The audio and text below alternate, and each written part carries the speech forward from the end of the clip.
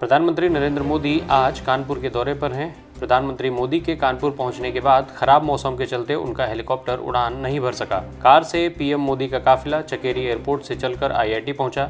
यहाँ छात्रों को पीएम डिग्री बांटेंगे।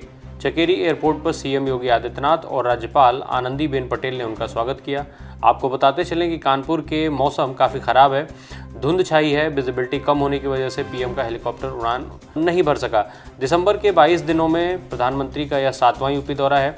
कानपुर में सबसे पहले मोदी आईआईटी के दीक्षांत समारोह में शामिल होने पहुँच गए हैं। इसके बाद निराला नगर रेलवे मैदान में मेट्रो समेत कई परियोजनाओं का उद्घाटन करेंगे और रैली को संबोधित भी करेंगे।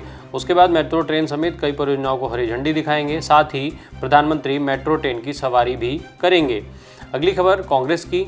कांग्रेस पार्टी आज अपना एक स्थापना दिवस मना रही है। स्थापना दिवस के मौके पर पार्टी के अंतरिम अध्यक्ष सोनिया गांधी ने ध्वजारोहण किया। इस मौके पर सोनिया गांधी ने कहा कि हमारी विरासत गंगा जमनी संस्कृति को मिटाने की कोशिश हो रही है। देश का आम नागरिक असुरक्षित महसूस कर रहा है। लोकतंत्र व संविधान को दरकिनार किया जा रहा है। ऐसे समय में कांग्रेस चुप नहीं रह सकती। हालाँकि स्थापना दिवस पर पार्टी के अंतरिम अध्यक्ष सोनिया गांधी के साथ अजीब वाक्य भी हुआ। सोनिया दिल्ली में पार्टी मुख्यालय पर पार्टी का झंडा फहराने पहुँची थीं, लेकिन डोरी खींचते ही झंडा उनके ऊपर आ गिरा। आखिरकार सोनिया गांधी ने हाथ से ही पार्टी का झंडा फहराया। इस मौके पर कांग्रेस के पूर्व अध्यक्ष राहुल गांधी ने शुभकामनाएँ देते हुए ट्वीट किया, हम कांग्रेस हैं, वो पार्टी जिसने हमारे देश में लोकतंत्र की स्थापना की और हमें इस धरोहर पर गर्व है। अगली खबर, लड़की हूँ, लड़ सकती हूँ के नारे की लोकप्रियता से उत्साहित कांग्रेस, लड़कियों के मैराथन के आयोजन में लगी हुई है। बीते 26 दिसंबर को झांसी में हुई बड़ी भीड़ के बाद आज लखनऊ के इकाना स्टेडियम में भी कांग्रेस पार्टी ने इसका आयोजन किया। आपको बता दें कि यह आयोजन भी 26 दिसंबर को लखनऊ के दस नब्बे चौराहे पर होना था, पर तब प्रशासन ने इसकी अनुमति नहीं दी थी। इस कार्यक्रम में भागीदारी के लिए लड़कियों का उत्साह और भारी भीड़ देखकर पार्टी की बाँछें खिली हुई हैं। बताया जा रहा है कि आज यहाँ करीब बीस हज़ार लड़कियों की भीड़ थी।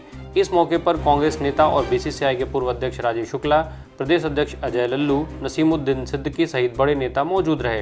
अब पार्टी वाराणसी में आने वाले 6 जनवरी को बीएचयू सिंह द्वार से शहीद उद्यान तक लड़कियों के मैराथन का आयोजन करेगी। अगली खबर, डॉक्टरों के हड़ताल की। नीट पीजी 2021 काउंसलिंग में देरी को लेकर दिल्ली में बड़ी संख्या में रेजिडेंट डॉक्टरों ने प्रदर्शन किया। प्रदर्शन के दौरान पुलिस और डॉक्टरों के बीच झड़प हुई। डॉक्टरों का आरोप है कि पुलिस ने लाठीचार्ज किया। इसमें कई डॉक्टर घायल हुए हैं। वहीं दिल्ली पुलिस का कहना है कि डॉक्टरों के विरोध प्रदर्शन के दौरान सात पुलिसकर्मी घायल हुए हैं। दिल्ली पुलिस ने ड्यूटी में बाधा डालने और सार्वजनिक संपत्ति को नुकसान पहुँचाने के आरोप में डॉक्टरों पर धारा एक सौ अट्ठासी सहित कई धाराओं में एफआईआर दर्ज की है। रेजिडेंट डॉक्टरों ने कल, यानी सोमवार को, सड़कों पर मार्च भी निकाला। आंदोलन की वजह से सफदरजंग आरएमएल और लेडी हार्डिंग अस्पतालों के साथ ही दिल्ली सरकार के कई अस्पतालों में भी मरीजों का इलाज प्रभावित हुआ है। वहीं federation of all India medical association यानी फेमा ने दिल्ली पुलिस की कार्रवाई के विरोध में 29 दिसंबर की सुबह आठ बजे से देश भर में सभी स्वास्थ्य सेवाओं को बंद रखने का ऐलान किया है। अगली खबर, चुनाव की। केंद्र सरकार और चुनाव आयोग ओमिक्रॉन के बढ़ते मामलों के बीच फ़िलहाल अगले साल यूपी समेत पाँच राज्यों में होने वाले विधानसभा चुनाव टालने के मूड में नहीं है। केंद्रीय स्वास्थ्य सचिव राजेश भूषण ने पाँच राज्यों, उत्तराखंड, गोवा, मणिपुर, उत्तर प्रदेश और पंजाब के साथ एक उच्च स्तरीय बैठक की, जिसमें इन राज्यों में वैक्सीनेशन और टेस्टिंग बढ़ाने के निर्देश दिए गए। आपको याद दिला दें कि चुनाव आयोग ने सोमवार को दिल्ली में चुनावी राज्यों के स्वास्थ्य सचिवों के साथ बैठक की थी। अगली खबर, पाँच राज्यों में होने वाले चुनाव को लेकर चुनाव आयोग अपने शेड्यूल पर ही टिका रहना चाहता है। आयोग ने चुनावी राज्यों, उत्तर प्रदेश, उत्तराखंड, गोवा, पंजाब और मणिपुर के स्वास्थ्य सचिवों के साथ ओमिक्रॉन के बढ़ते मामलों पर चर्चा की है। इन राज्यों में वैक्सीन कवरेज और ओमिक्रॉन केसेस का आंकड़ा भी मांगा है। चुनाव आयोग और स्वास्थ्य विभाग की साझा बैठक हुई। बैठक के बाद राज्यों से केंद्र के साथ मिलकर किए जा रहे कार्यों का डेटा मांगा गया है। इसी रिपोर्ट के आधार पर जनवरी के पहले हफ़्ते में बैठक होगी, जिसमें चुनाव को लेकर अंतिम फैसला किया जाएगा। अगली खबर, मिल रही जानकारी के मुताबिक पाँच राज्यों के चुनाव में कई पाबंदियाँ लगाई जा सकती हैं। ओमिक्रॉन को लेकर के केंद्रीय स्वास्थ्य सचिव की रिपोर्ट के बाद संभव है कि चुनाव आयोग बड़ी रैलियों और जनसभाओं पर रोक लगा दे। वर्चुअल और डोर टू डोर कैंपेन की इजाज़त मिल सकती है। चुनाव प्रचार के तरीकों में बदलाव के साथ मास्क और दो गज की दूरी को पूरी तरीके से लागू किया जा सकता है। अभी तक चुनाव आयोग के रुख के अनुसार चुनाव को टालने की संभावना बहुत कम है। हालाँकि चुनाव आयोग इस बार प्रचार और भीड़ प्रबंधन पर एहतियातन बड़े कदम उठा सकता है। अगली खबर अगले साल 2022 के विधानसभा चुनाव से पहले तैयारियों का जायजा लेने के लिए चुनाव आयोग की एक टीम उत्तर प्रदेश का दौरा करेगी। इस टीम में मुख्य चुनाव आयुक्त सुशील चंद्रा सहित कई अधिकारी शामिल हैं। आज से शुरू होने वाले तीन दिन के दौरे पर ओमिक्रॉन के मद्देनजर चुनाव तैयारियों की समीक्षा की जाएगी। आपको याद दिला दें कि मुख्य चुनाव आयुक्त सुशील चंद्रा ने पिछले शुक्रवार कहा था कि वे अगले हफ़्ते स्थिति का जायजा लेने के लिए यूपी जा रहे हैं। समीक्षा के बाद चुनाव होगा या नहीं, इस पर फैसला लिया जाएगा। अगली खबर अगले साल पाँच राज्यों में चुनाव होने वाले हैं। चुनाव के मद्देनजर अब राजनीतिक दलों और नेताओं के बीच राजनीतिक हमले और जुबानी जंग तेज हो गई है। समाजवादी पार्टी के मुखिया अखिलेश यादव ने मुख्यमंत्री योगी आदित्यनाथ पर निशाना साधा है। अखिलेश ने ट्वीट कर उनहत्तर हज़ार शिक्षक भर्ती का मामला उठाया है।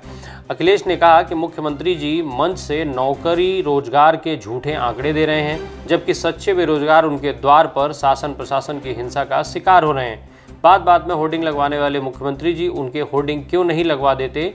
जिनको जिनको उन्होंने नौकरी या रोज़गार दिया है। 22 में बेरोजगार भाजपा को भी बेरोजगार कर देंगे।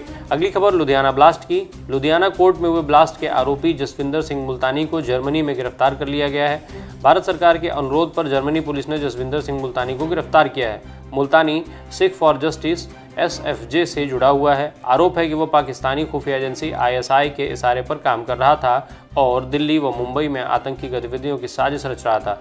इसकी गिरफ्तारी पर जर्मनी व भारत के राजनयिकों का कहना है कि भारत सरकार ने जर्मनी की सरकार से उन खालिस्तान समर्थक कट्टरपंथियों को गिरफ़्तार करने का आग्रह किया था, जिनके संबंध सीधे पाकिस्तान से थे और सीमा पार से वह पंजाब में हथियारों व गोला बारूद की तस्करी में शामिल थे। आपको बताते चले कि लुधियाना कोर्ट में बीते 23 दिसंबर को ब्लास्ट हुआ था। अगली खबर, ओमिक्रॉन की। देश में कोरोना वायरस के ओमिक्रॉन वेरिएंट ने खतरनाक रफ्तार पकड़ ली है। सोमवार को एक दिन में सबसे ज़्यादा 135 मामले दर्ज हुए हैं, जिससे कुल मरीजों की संख्या बढ़कर छः सौ सत्तासी हो गई है। दिल्ली में कल ओमिक्रॉन के रिकॉर्ड तिरसठ नए केस मिले, जो कि देश की किसी भी राज्य में एक दिन में मिले ओमिक्रॉन मरीजों में सबसे बड़ी संख्या है। राष्ट्रीय राजधानी में अब कुल ओमिक्रॉन संक्रमितों की संख्या एक सौ पैंसठ हो गई है। सोमवार को गोवा और मणिपुर में भी ओमिक्रॉन ने दस्तक दे दी है। ओमिक्रॉन अब तक 21 राज्यों केंद्र शासित प्रदेशों में फैल चुका है। इस बीच भारत में कोरोना के दो और वैक्सीन को मंजूरी मिल गई है। सीडीएससीओ ने कोवैक्स और कोर्बीविकेस को आपात स्थिति में मंजूरी दे दी है। आज के अंक में इतना ही। धन्यवाद।